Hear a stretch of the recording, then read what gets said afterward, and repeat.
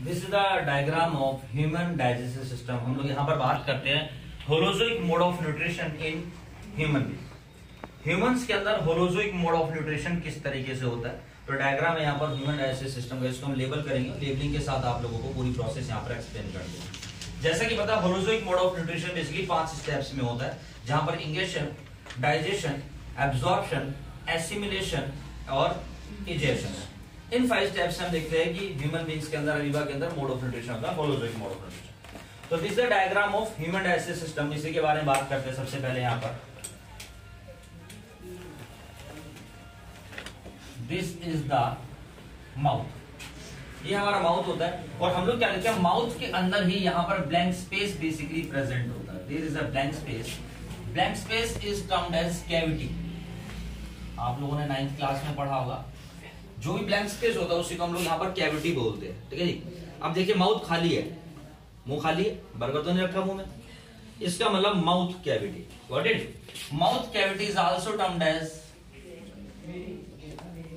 oral cavity and it is also termed as buccal cavity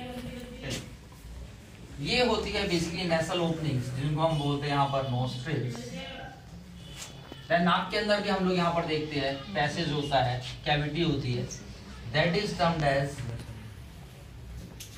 nasal cavity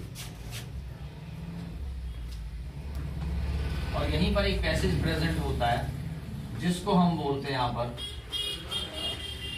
nasal passage और ये जो oral cavity होती है, हम लोग यहाँ पर देखते हैं ओरल कैविटी भी बेसिकली प्रेजेंट होती है हमारे पास यहाँ पर जो है ओरल पैसेज में. दिस इज़ ओरल पैसेज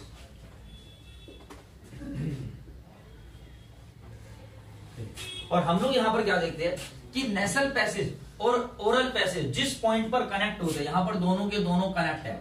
इसी रीजन को हम लोग यहाँ पर बोलते हैं pharynx this is termed as pharynx अब जो नेसल पैसेज ओपन होता है फेरिंग्स के अंदर नेसल पैसेज हमारा ओपन हो रहा है फेरिंग्स के अंदर। This is termed as nasopharynx और जो माउथ का रीजन यहाँ पर कनेक्ट हो रहा है हमारे पास दिस इज़ एज ओरोफेरिंग्स तो फ़ूड एंटर करता है यहाँ पर माउथ के अंदर, ठीक है जी? और देन उसके बाद वहाँ पर जो है फ़ूड का सबसे पहला फ़िज़िकल डाइजेशन होता है। यहाँ पर हमारे पास प्रेजेंट है food pipe and food pipe को ही हम लोग यहाँ पर बोलते हैं।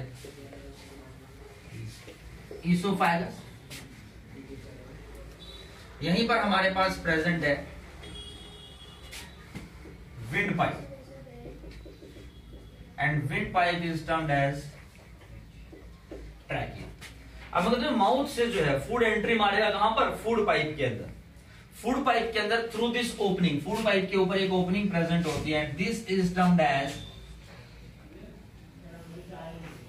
gullet food जो माउथ से फ़ूड पाइप के अंदर एंट्री मारे किसके थ्रू गुलेट के थ्रू और यहाँ पर जो विंड पाइप के ऊपर जो ओपनिंग होती है, इसी को हम लोग यहाँ पर बोलते हैं ग्लूटिस जैसे ग्लूटिस और यहाँ पर विंड पाइप और फ़ूड पाइप इन दोनों के बीच में हम लोग क्या देखते हैं? There is a cartilaginous flap like structure there is a cartilaginous flap like structure and it is termed as epiglottis, इसको हम लोग यहाँ पर क्या बोलते हैं जी? एपिग्लोटिस बोलते हैं।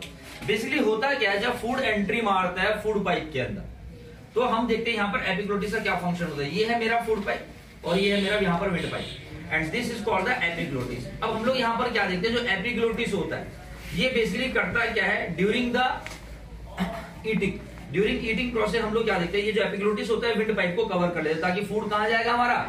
फ़ूड पाइप के अंदर जाएगा। फ़ूड कहाँ जाएगा हमारा, यहाँ पर जो है फ़ूड पाइप के अंदर जाएगा। गॉट इट अब होता क्या है? जैसे आप लोगों ने सुना, मम्मी कई बार बोलती है कि खाना खाते खाते बोलना नहीं चाहिए। क्यों?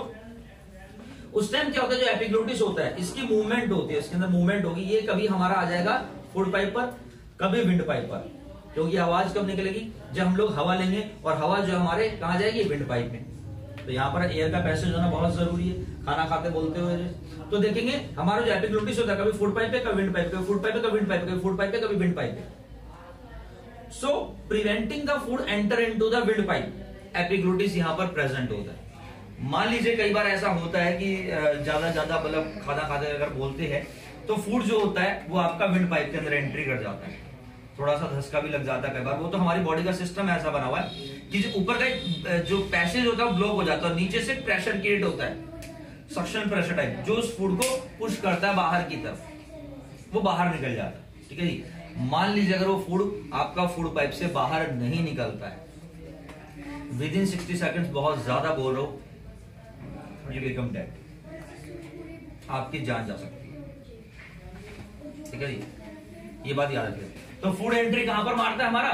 विंड पाइप में। So what is the function of epiglottis to prevent the entry of food into the wind pipe wind pipe के अंदर फ़ूड चला जाएगा। और अगर मान लो विंड पाइप के अंदर फ़ूड चला जाता है, एक तो मौत हो जाएगी, और बेस्ती होगी अलग आप लोगों की। बेस्ती कैसे होगी? मान लो कोई पूछेगा जी, क्या हो गया था जी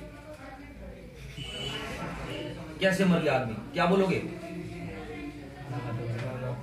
जी खाना फंस गया था घैंट में। फ़ूड इज़ एंटर पाइप कितनी बेजती वाली बात समझे? तो इसलिए खाना खाते खाते बोलना नहीं चाहिए। क्लियर है चीज़। अब ये फ़ूड यहाँ पर एंट्री मार गया हमारा फ़ूड पाइप में। और जब फ़ूड पाइप में फ़ूड एंट्री मार जाता है देन उसके बाद में यहाँ पर क्या देता हूँ? फ़ूड यहाँ से आ रहा है। यहीं पर एक मसल प्रेजेंट है, जिसको हम बोलते हैं यहाँ पर स्फिंचर मसल अब ये स्पिंचर मसल कहाँ प्रेजेंट है? हमारा ईसोफाइगस जो है, वहाँ पे और फ़ूड जो है, वो आपका माउथ से ईसोफाइगस से होता है कहाँ एंट्री मारेगा? स्टमक के अंदर। स्टमक का ही दूसरा नाम होता है यहाँ पर गैस्टर। स्टमक का दूसरा नाम क्या होता है? गैस्टर। तो इस मसल का नाम होता है gastro oesophageal sphincter muscle. Got it इसका नाम होता है यहाँ पर gastro oesophageal sphincter muscle. Food यहाँ पर आता है, इसके ऊपर प्रेशर बनता है फ़ूड एंट्री मार जाता है हमारे यहाँ पर जो स्टमक मैं अभी इस डायग्राम की लेवलिंग करूँ देन उसके बाद पूरी प्रोसेस को हम एक्सप्लेन भी करेंगे one by one what it food stomach के अंदर एंट्री मारेगा कोई दिक्कत ये कल हुआ सर पीटीएम होगी ना इस वजह से मैसेज आया हुआ है। हाँ नहीं मैंने आज बोल देना सबको मैंने